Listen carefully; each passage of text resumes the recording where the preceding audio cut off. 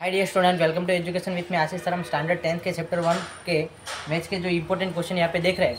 State the minimum integer that is divisible by both 45 and 20 यानी कि आपको ऐसा इंटीजर फाइंड आउट करना है जो 45 से 45 से भी डिविजिबल हो और 20 से भी डिविजिबल हो। तो ऐसा नंबर कौन सा हो सकता है? तो एलसीएम ऑफ़ 45 एंड 20 तो एलसीएम क्या होगा? 45 एंड 20 तो हमें क्या फाइंड आउट करना है? LCM of forty five and twenty का एलसीएम फाइंड आउट करना पड़ेगा। तो इसके first of P of of forty five क्या हो गया? तो prime factor of forty five तो three into three into three into five and P F prime factor of twenty is equal to two into two into five तो यहाँ पे L C M क्या होगा? L C M of forty five and twenty is equal to two का square into three का square into five तो two का square कितना होगा?